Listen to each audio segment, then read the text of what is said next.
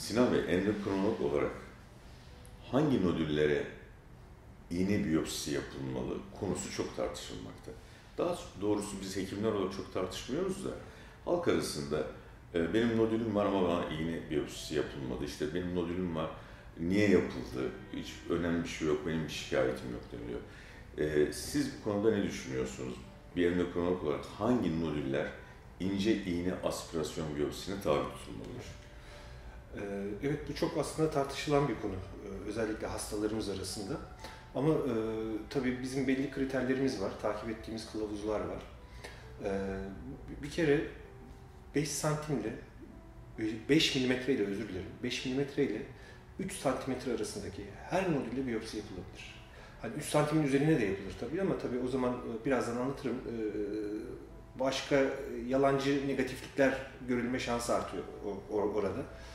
E, hani bir hastada bir buçuk santimlik nodül vardır, iki santimlik nodül vardır, biyopsi yapılmamıştır. Ama başka bir hastaya ya da o hastanın bir akrabasına 7 milimetrelik nodül varken biyopsi yapılmıştır, 8 milimetrelik nodül varken biyopsi yapılmıştır.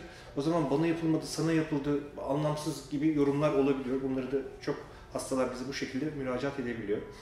Burada e, en önemli kriterimiz ultrason görüntülerimiz bizim e, biyopsiyi yaparken. E, hasta zaten uzun süreden bir takipteyse, bir buçuk santimlik bir nodül hiç büyümeden yıllarca devam ediyorsa zaten o nodül iyi huylu olmaya eğilimlidir. Yani e, biyopsi yapılmadan takip edilebilir. Kötü huylu nodüller büyüme e, gösterirler, büyürler çünkü. E, özellikle e, bir yıl içinde %15-20 civarındaki bir büyüme o nodülün kötü kriteridir. Yani mutlaka biyopsi yapılmalı.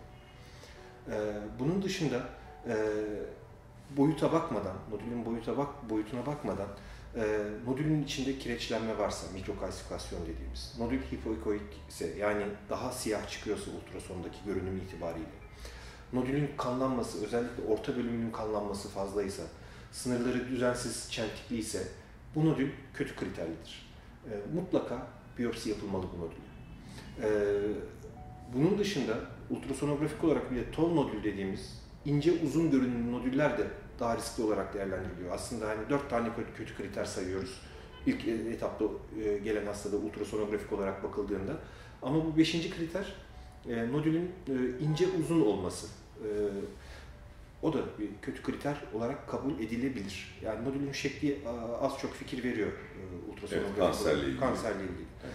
Ee, genellikle işte bundan mutlaka biyopsi alalım hatta şu bölgesinden alalım dediğimiz yerden e, yanılma payı yüzde onları geçmiyor e, şeyde e, büyük bir oranda e, tahmin edebiliyoruz. Bir de tabii diğer altıncı kötü kriter aslında biraz önce arz ettim e, nodülün büyümesi yani bir yıl içinde yüzde 15-20 civarındaki büyümeler kesinlikle kötü kriter olarak algılanır. %15-20 kadar büyüyen bir nodül hasta tespit ettik. İğne biyopsisini yaptık. Negatif yani selim, temiz çıktı. Tabii.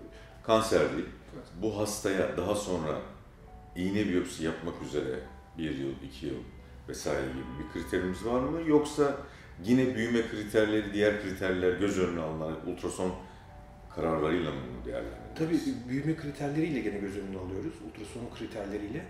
Ancak tabii belli bir sınırımız var. Yani e, eğer e, yapıyoruz sürekli diyelim ki 4 yılda 6 e, kere biyopsi yaptık hastamıza. Nodül ama bu arada 1 santimden 2,5 santime çıktı. Ve sürekli de selim geliyor.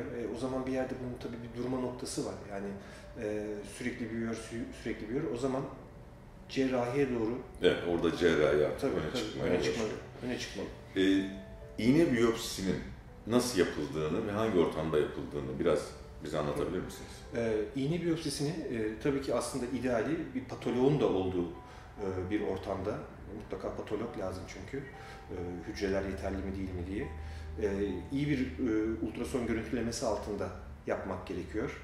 E, hastanın boynu e, sterilize edildikten sonra, daha doğrusu batikonla e, silindikten sonra e, uygun ortamda, uygun eldivenlerle e, bir ince iğneyle, enjektörle ki genellikle 10 cc'lik oluyor siz e, hemen hemen siz de öyle yapıyorsunuz herhalde. Evet, 10 cc. 10 cc'likle çok fazla bakım uygulamadan e, ve dokuya nazik davranarak e, tıpkı hasta kan verir gibi e, iğneyi batırarak e, nodülün içine oradan hücre örnekleri çekiyoruz. Evet, zaten bu gerçekten bir incecik iğne. Ve incecik iğne. Ee, bu iğnenin çok ağrı yapma e, riski de yok. Yani hastalar genellikle ağrısız olarak bittiğini Evet. tanımlarlar. E, hafif bir lokal e, anestezik de yapılabilir ama genel olarak yapılmadığını da biliyoruz. Hastalar çünkü bu işlemin e, kendileri için e, huzursuz edici bir işlem olmadığını, kolay olduğunu söylerler. Ve burada en önemli faktörlerden bir tanesi iyi bir ultrason. Yeri iyi gösterecek, aynı zamanda bir patoloğun olması. Yani. Evet. Sitolog, patolog. O var olan hücrelerin alınıp alınamadığını bize bildirmesi gerekiyor. O esnada inceleyecek, inceleyecek. İnceledikten sonra bize hücre yeterli diyecek. Daha sonra tanımlamasını yapacak, bize bildirecek. İnce iğne aspirasyon biyopsilerinde tiroidin nodüler hastalıklarında kanser düşündüğümüz veya tanımlamamız gereken durumlarda daha sonrasıyla ilgili sıkıntılı durum olabilir mi? Yani komplikasyon olabilir mi? Ee, Çok nadir. Tabii ti- tiroid e, çok kanlanan bir organ. Ee, Hani bir cerrah olarak herhalde, endokrin cerrah olarak en çok siz Evet. bilirsiniz bunu. Evet. Ee, Çok kanlanan bir organ. Dolayısıyla kanayıp e, hemotom gelişme Riski riski, var. Ee, Özellikle aspirin kullanan hastalarda bu yüzden bu kanama olmasın diye bir hafta önceden, 5 gün bile yetebilir ama bir hafta önceden aspirin kullanımını bıraktırıyoruz zaten. Ee, Evet. Hasta biyopsisini veriyor ve ondan sonra aspirini almaya devam ediyor. Kanama görülebilir. Ee, usulüne uygun yapılmayan biyopsilerde karotis arter, karotit arter e, hasarlanabilir. Ee, İşte özellikle burada da- karotise çok yakın şah damarı yani. Evet, evet. Çok yakın nodüller. Burada e, tecrübeli, profesyonel bir ekibin varlığı çok önemli. Tabii ki. hem sonuçları etkileyecek doğru bir tanı yöntemi olarak kullanıldığı için bizim için çok değerli. İyi yapacak bir ekip gerekiyor, iyi bir ultrason gerekiyor, iyi patolog gerekiyor. Burada e, gerçekten ekibin birlikteliği çok önemli. Bizim için negatif gelmiş sonuç, şüpheli gelmiş sonuçlar aslında e, ekibin profesyonelliğiyle eşdeğer bir şey. Çünkü belirli yerler, belirli, çok fazla yapılmayan veyahut da tecrübesi az olan insanların yaptığı durumlarda negatiflik e, genel olarak yap, yanlış sonuçların değerlendirilmesi söz konusu. Burada e, bizim genel cerrah olarak ben endokrinoloji cerrah olarak aynı zamanda çok iyi bir ultrason yapan kişiye iyi bir patoloğa mutlak suretle ihtiyacımız var. Sonuçları iyi değerlendirmek açısından.